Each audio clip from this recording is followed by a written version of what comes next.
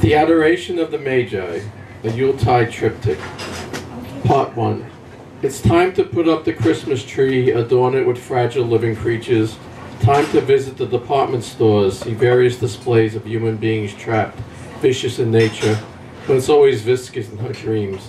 Schizo Yuletide, pieces of two. The Magi screamed at the door of the manger at the sight of the alien child. They had been misdirected and spoke no more. While holding shadows between her fingertips, a mother licked her lips and screamed. Snow angels slipped away. Transparent to many, they wandered aimlessly through streets and back alleys. The necklace of hands was clasped at her throat. Her sins were heavy. The drone of prayers embarrassed her. The presents under the tree was starting to decay. The snowmen panted outside the window. Everything was a whirl and she couldn't stop it.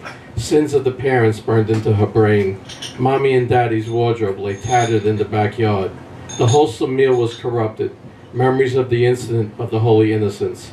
Daddy and Mommy's faces were burning in the fireplace. More sources of energy for the never-ending Yule log. Centaurs lost their thrones while wandering in the forest in search of reproductive pleasure. Gifts from Herod rained down on the congregants, emphasizing the betrayals smoldering in their collective brain. A vagabond took the infant and secluded themselves in the catacombs, waiting for the ransom, hoping for the criminals. Part 2. Under a blue sky as the snow fell, while making snow angels, the kidnapper committed suicide. His body transformed into honey and flies, a new transubstantiation. The limited noise of the massacre panel caused the landscape of her eyes to twist as she murdered her husband and searched for her offspring, weeping in fulfillment at the event of recovery, without music, without pain, with only silence. External images were sketched. Three figures were generated. The painter lacerated her canvases and discovered another image under her skin. Part 3. Unrepentant and unforgiving, a partridge flew into shards of glass. The identifications of the bodies had commenced. As usual, the cops were no help.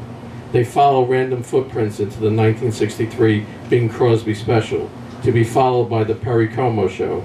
These played in the background as the family opened their presents. These played in the background as the nails were sharpened and the manger door was nailed shut.